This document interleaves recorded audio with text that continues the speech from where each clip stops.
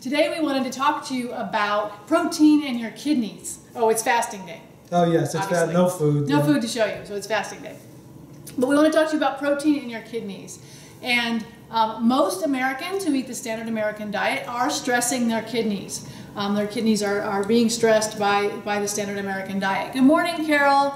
Morning, Carol. Ah, she's seeing, she's going to try and catch more than one of us one live this week. Awesome. We like it when you watch it in review, too. Right. So, you didn't turn your ringer on? No, off. just let it go. It's all right. Um, we'll ignore Russ's phone. Right. Um, but if you're eating the standard American diet, you are likely stressing your kidneys. And it is known that once you're diagnosed with kidney disease, one of the first things they do is try to put you on a low protein diet because they know that protein stresses your kidneys. Which is, on a side note, very uh, interesting to me considering how much protein I, protein I thought I needed when I was bodybuilding, Mm-hmm. which was not true. And so, and, and I think I've said this before, I was doing more damage with all that excess protein and would have been easier for me to get down to the weight I needed to be when I was competing. If you were Uh, eating high I was- carbs. Right, high carbs and low pro, lower protein. Right. So one in eight Americans have kidney disease, and 25% of them don't even know it. So it's uh, definitely a problem. And yes, table sugar and high volumes of table, sh- table sugar, table Sugar. sugar, I can talk, do cause stress on your kidneys, absolutely. But the amount of animal protein that, that we eat in the standard American diet creates a high acid load. And if you think about it, protein is made up of amino acids. That's what, what it is. It's amino acids. And so when you eat a lot of animal protein, it increases the acid in your system and your kidneys go into what's called hyperfiltration mode. Now, your body is meant to be able to do that for when, you know, back in the day when we were scavenging and you came across protein and you were able to take in a lot of animal protein on a you know not super regular basis but periodically your body could go into this hyperfiltration mode um, use the protein address the acid and everything was fine That's the body adapting to survival. It's Right. using what you have to survive.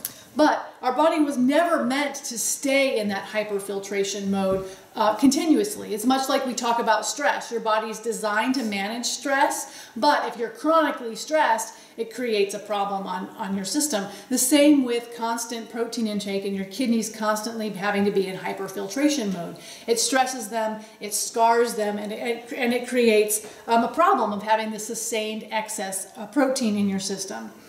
Interestingly, though, the same amount of plant protein does not cause the same stress on your kidneys. They've done studies that show if you eat beef or eggs or dairy or Fish, fish or yeah. whatever, it causes this spike in, in stress. But if you eat the same amount of protein but from plants, it doesn't cause that spike in stress. You don't go into. But I know one particular study they looked at compared soy protein with milk Right. protein.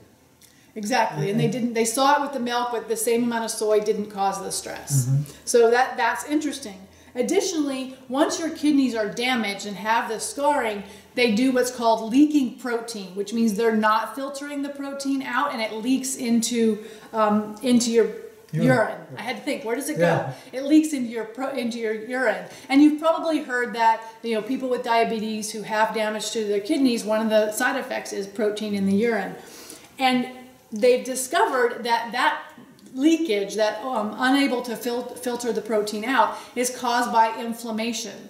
So what you can do is you can continue to eat your high level of animal protein, and you can take a strong anti-inflammatory drug, and it stops the leakage. Obviously, that's not what we would recommend. That's not what we Because- Because instead, what you can do is you can actually turn leaking off by eating uh, plant protein instead of animal protein.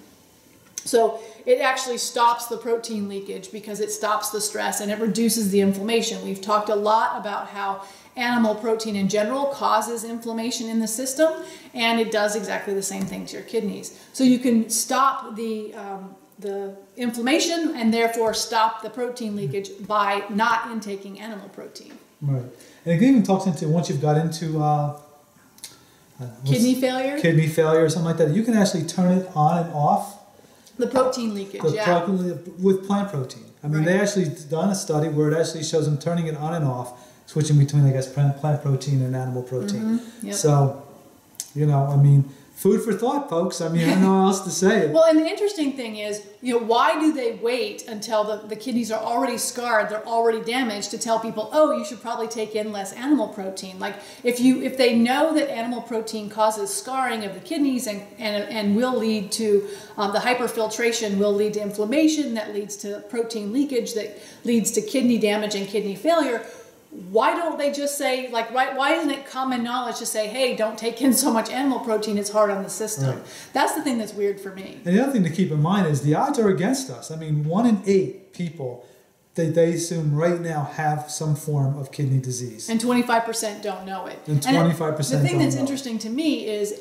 is that number because of the standard american diet and the amount of animal protein that we in general ingest Yeah, I mean, the, what we were seeing there was that they basically said the Western diet, standard American diet, and they named a whole bunch of they other call it the sweet meat diet right, or the right. meat Basically, diet. all those diets are causing uh, kidney failures to some degree. yeah So, um, So moving toward the whole food muscle way of eating, you know, 80% um, plant-based is going to really, really help your kidneys. Hey, Deborah, good morning. Morning, Deborah. Was Laura saying? Sad, but incredible how humans hold on to habits. Yeah, exactly. And, and how their search for instant gratification and happiness. Right. Yeah, it, it is interesting how they don't, they don't think, well, and a lot of them don't know, like they don't realize that the way that they eat is, is so damaging to their body. And if they've been told, they kind of block it out. Right. And and we've talked about this. Everybody wants instant gratification, quick and easy access.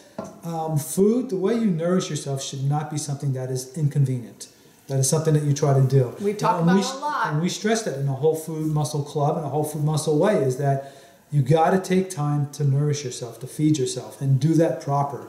You know, by taking in a lot of plant foods and minimizing your animal products. I mean, we eliminate them. That's the, that's the level that we took it to. We don't use animal products at all. Um, but to get to 80%, 85, 90, just keep trying to move in that right direction. Uh, you know, going to make a difference. Right. So Jolene's asking for some good examples of plant-based proteins. Um, yeah, We can absolutely do that. First of all, all plants have protein in them. The only plant that doesn't have protein in it is mistletoe. It's not edible by humans anyway, so that's not a problem. Right. Um, but all plants have protein. But if you're looking for your higher protein plant options, any legumes are going to be great for you, which are your beans and your lentils. Um, green peas are 26% protein, I believe. They're they're very high protein. Green peas are very good for you. incidentally, you really should be eating beans every day. I mean, the benefits of eating beans are, are phenomenal. So, find a way to get yourself at least a serving of beans every single day, and you'll be doing yourself a, a great job And that's why we keep hummus in the house. I make hummus on a consistent basis. We eat it on, on Russ's rustic bread. Mm-hmm. That is, the recipe is on the recipe page, uh, available for free. You don't even have to be a member. Um, my hummus recipe is available to members of the Whole Food Muscle Club at rnrjourney.com. Mm-hmm. So that's on there. So beans are a great option. Um, Nuts, nuts, seeds, Absolutely. Seeds are really good. If you think about what beans and nuts and seeds are, it is the plant taking everything that they have, all of the energy, all of their DNA, everything that they have, and saying, I'm passing this on to make the next generation happen. So, those kind of things are going to have great protein in them. Another one uh, is grains, because grains are the same thing, right? They're the seed of a, of a plant, basically. Um, quinoa is very high in protein. and it's a complete protein actually, quinoa. So it's a Not that that matters here no, or but there, it's but just, some but, people it, but it's a great, it's a really, it's a superfood basically. Um, I always recommend for people if they're looking to add protein uh, to their diet, take the dishes that they make that have rice in them and instead use a different grain. Use one that had, you know, like quinoa quinoa's a great one, uh, farro's another Right, and- one, and if you- And as, as part of the Whole Food Muscle Club, you get access to the recipes that we keep adding to. And, and if you keep in mind, each one of those recipes has protein in mind. Because being an ex bodybuilder, a weightlifter, that I'm always looking to see, making sure I'm getting some kind of protein. He thinks about it. I don't. I just right, put she doesn't. in there. but so everything on there is going to is going to give you a source of protein, Mm-hmm. um, as well as carbohydrates, as well as some level of fats that you need. Um, you know, just keep in mind that eliminating fats is not healthy either. You can't eliminate any nutrient, so you got to make sure you're getting them correctly so your body can utilize them. And it happens if you just eat plants. You end up with about 80% carbs, give or take, and then 10% protein and 10% fat, which is exactly Well, the balance your body needs. So it works out really, really well. Hey, Orlando, it's nice to see you this Hey, morning. Orlando, morning. Um, so yeah, basically the bottom line is animal proteins do stress your kidneys. And if you switch to eating more plant protein, um, you're going to be better off on that front. If you are um, if you're at 80%, you're um, plant-based, you're doing really well because then your body only goes into that hyper, hyperfiltration mode when you do ingest animal pro- protein, which at 80% is about four times a week, give or take, if my math is right.